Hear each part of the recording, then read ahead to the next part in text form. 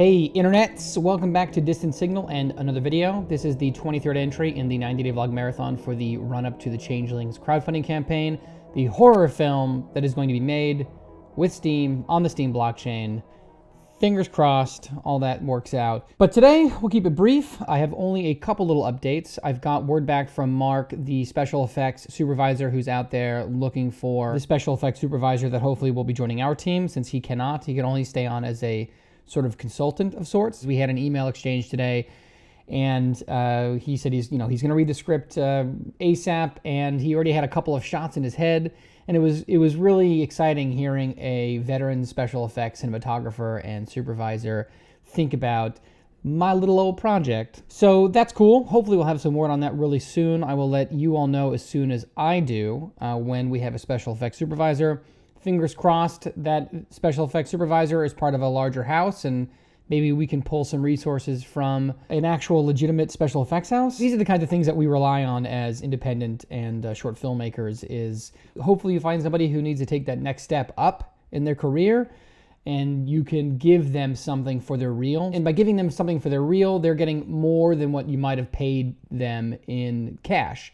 It's a it's a worthwhile barter. So because in the long run, this film might help elevate them into special effects supervisor, for the rest of their career. You know, if the film's good and it really shines, if their talent and skill shine through, then they stand to make a whole ton more money down the road of their career if they, you know, take that pay cut but that step up in title and responsibility so they can demonstrate that they've got the necessary skills to do what it takes. So that's one technique you can do to get people that are say above your pay grade is to find that person who's just on the edge of being a supervisor like a gaffer or a key grip or a cinematographer, and you know you find that uh, that AC who shoots on the side but really needs that next big short film so that he or she can say, hey, you know, I'm capable of doing this. That's one way of elevating your film and getting talent that you can't afford. Other than that, I think that uh, the last thing I want to talk about is time management. It's been a little difficult finding that time to work on the little uh, tedious things about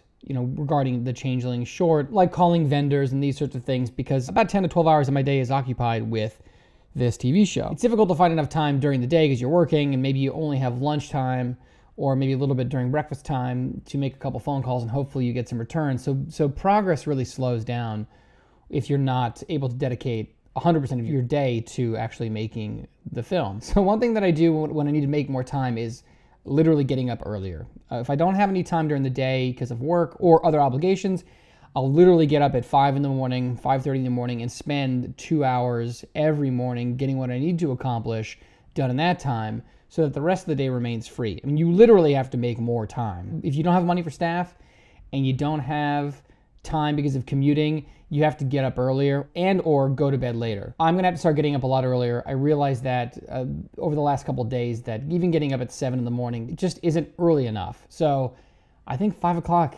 a.m. here I come so that I can get up, slam some breakfast, and start writing down all the things I need to get done in the day. you know, at the very least, come up with a to-do list so I can actually look at it, of course, over the course of the day. If I have a few minutes, I can take care of something, but I'll have structure. So from here on out, I'm to start getting up really early. Maybe I'll move the streams or these videos to really early. I don't know. You tell me if that's something that you want to listen to is just a stream in the morning, me me working, or do you like these more structured, very short videos where it's wham bam, thank you, ma'am? For those of you out there who, who don't have the time to make what you want to make, it literally is going to come down to you getting up earlier and you going to bed later.